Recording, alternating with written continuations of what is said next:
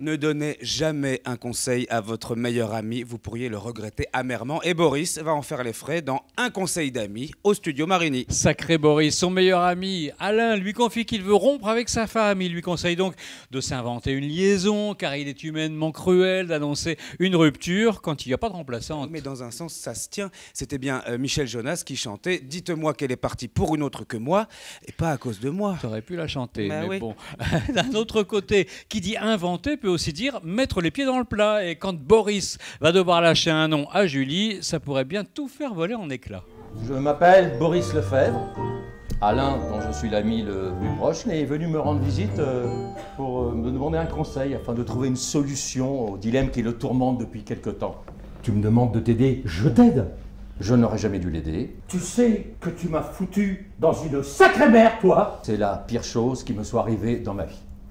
Mais c'est pire que ça, tu vas quitter ta femme, tu pars pour quelqu'un, tu vas t'inventer une liaison.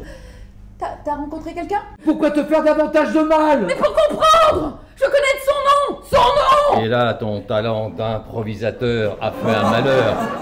Une intrigue absolument folle où le mensonge est roi. On le sait, les comédiens sur scène sont aussi à la vie d'une joyeuse bande de copains.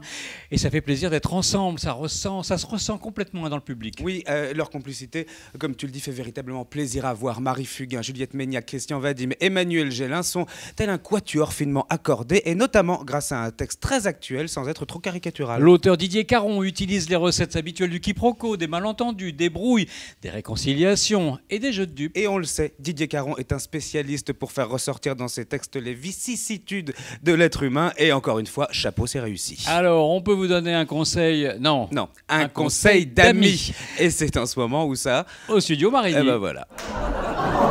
Alain Des explications? Bon, tu rentres si tu te calmes Je suis calme Mais comment t'as pu t'en faire un ami? Alors ça, ça me... Je ne suis plus ton meilleur ami depuis deux minutes Je suis libertine